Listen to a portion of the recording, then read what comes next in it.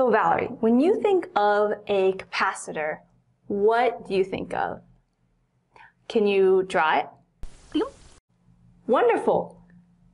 Valerie drew a very common capacitor on the board here, and we're going to talk about how to model it a little bit more accurately using the parasitic model of a capacitance. So what does it mean, and then what does the model look like?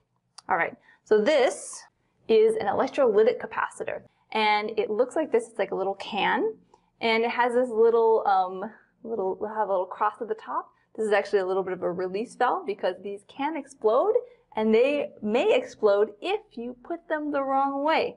What do I mean by that? These, they're polarized, so you have to put them, the positive and negative charge on them correctly. If you do it backwards, it can explode. So keep track of that if you're using these type of uh, canned electrolytic capacitor.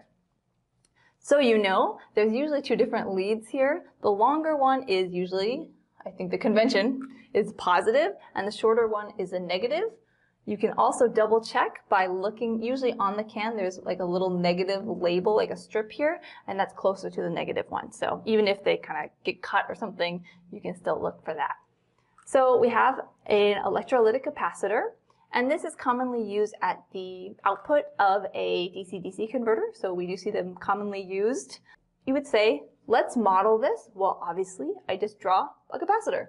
So let's start here. I have a capacitor here. If we want to model a capacitor, obviously we just draw this and we have our capacitance value here and we're done. Not quite. This is the idealized version of a capacitor. But when we look at a real capacitor, there is more to it. There are some things that we call parasitics, like a parasite, so things that take away from the ideal version of this capacitor. So let's look at each part individually.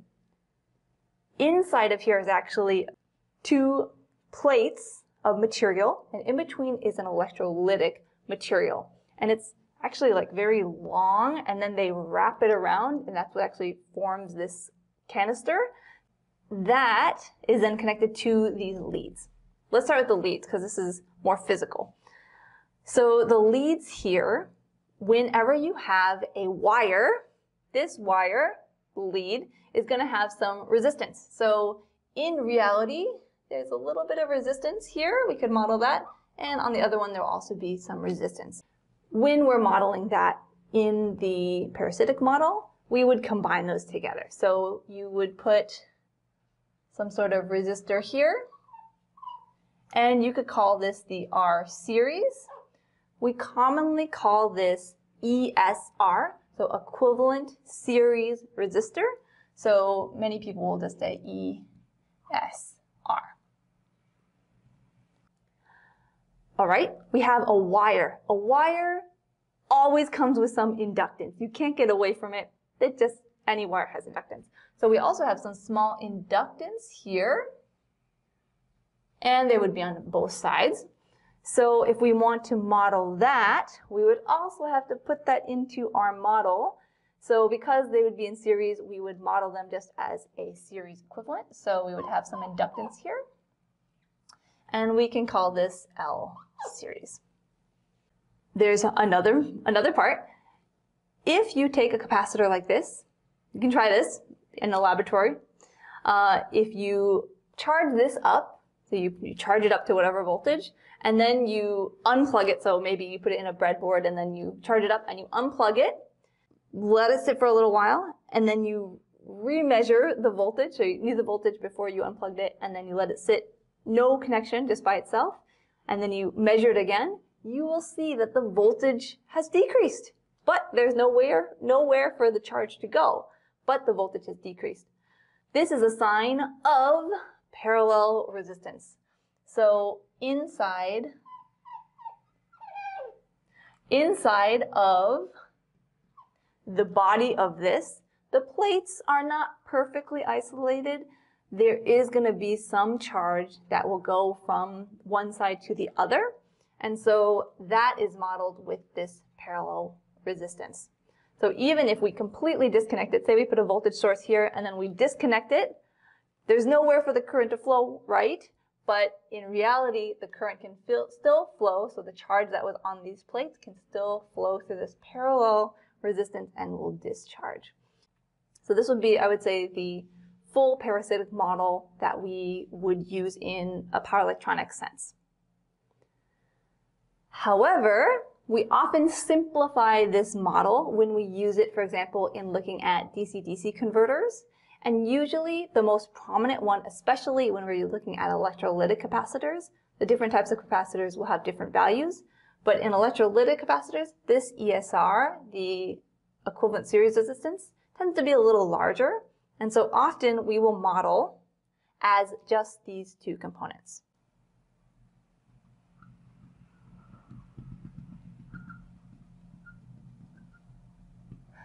So I would say this is the common model.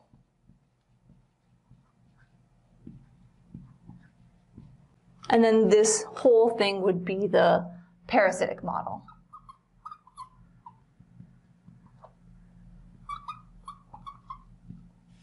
When will this be important? When we're actually implementing a real system, we are going to see that the waveforms, the ideal waveforms, are not going to come out. They're always going to have some non-idealities. Those stem from these parts of this parasitic model. So the series resistance, ESR, is very common because it will affect the output ripple of your DC-DC converter, it's going to add actually a little bit additional ripple. So that value we model commonly because we do see that when we in experiment.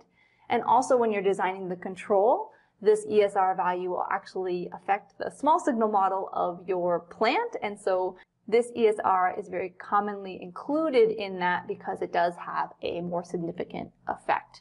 The other ones you can of course model, but they tend to be less prominent when we're doing our analysis. In summary, we have a real capacitor. When we want to model that, we have to go beyond the ideal capacitor model and add a few more components. We need to take account for the equivalent series resistance, the RS, here, and that's commonly used in a model for DC-DC converters.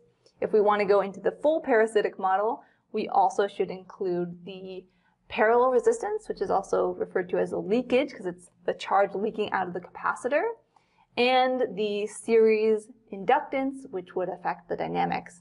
And these all stem from the physical models of the actual capacitor. So you can use this now to model more realistic capacitors.